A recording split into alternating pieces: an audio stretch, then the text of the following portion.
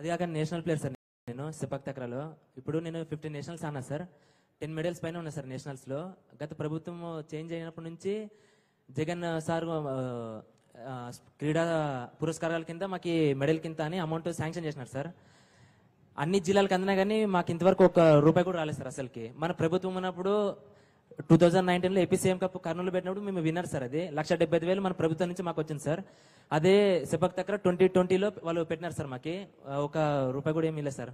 ఇప్పటికీ మేము ఎక్కడికి వెళ్తున్నా కానీ మేమే సొంత ఖర్చులు పెట్టుకొని వెళ్తున్నాం సార్ అసలుకి. ఏం స్పోర్ట్స్ కోట్ స్పోర్ట్స్ కోటా కింద మాకు ఇంత ఏం శాంక్షన్ కూడా చేయలేదు సార్ అసలుకి. చాలా ఇబ్బందులు పడిపోతున్నాం సార్ అసలుకి. కొద్దిగా అది కూడా చూడండి sir.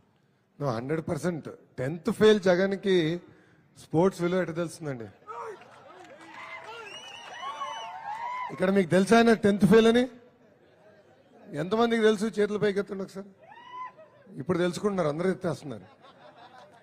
టెన్త్ ఫెయిల్ అని నేను ఎందుకు అంటున్నానంటే పాస్ అయి ఉంటే గ్రాడ్యుయేట్ ఎమ్మెల్సీలో ఓటర్ అయి ఉండేవాడు. ఆయనకి ఓటు కూడా ఇవ్వలేదు అంటే సర్టిఫికేట్ లేవు.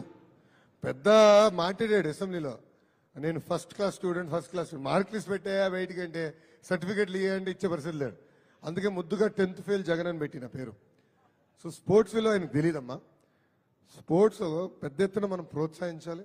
ప్రత్యేక రాయలసీమ ఒక స్పోర్ట్స్ యూనివర్సిటీ తీసుకొచ్చి క్రీడాని పెద్ద ఎత్తున ప్రోత్సహించే బాధ్యత మేము తీసుకుంటాం. దాంట్లో ఎలాంటి సందేహం లేదు. Leave to me thank you